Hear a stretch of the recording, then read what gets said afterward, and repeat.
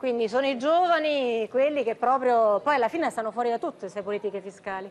Sì, eh, diciamo che eh, le partite IVA non hanno ovviamente beneficiato degli 80 euro che aveva promesso Renzi, così come non hanno beneficiato i pensionati, così come non ne hanno beneficiato gli e di cosa indigenti. avreste bisogno?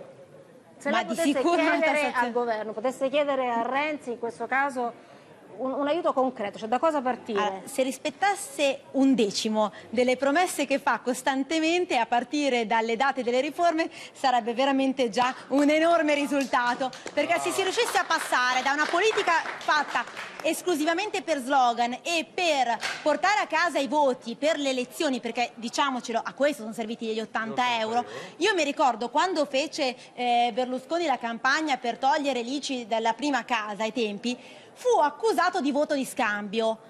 Questa cosa nessuno l'ha detta però a Renzi. Beh, io sinceramente ci ho pensato. no, veramente gliel'hanno allora, detto diciamolo anche così, parecchi. È io non gliel'ho potuto dire, io non gliel'ho potuto dire, ma fatte. sicuramente a mio parere era un voto di scambio, chiaro come una, una veramente eh, limpido come non so che cosa e tra l'altro mi dovete anche spiegare per quale ragione le partite IVA non, non- non ce l'hanno. E concludo con una cosa, la disoccupazione è adesso oltre il 12% e non sto parlando di quella giovanile. Quando era all'8% il Partito Democratico chiese le dimissioni a Silvio Berlusconi. Ora io mi domando dove sono i sindacati? Dov'è do- dov'è lo stesso Partito Democratico che chiedeva le dimissioni con una disoccupazione all'8%? Silvia, la fermo perché la domanda ovviamente dobbiamo rivolgere a Taddei.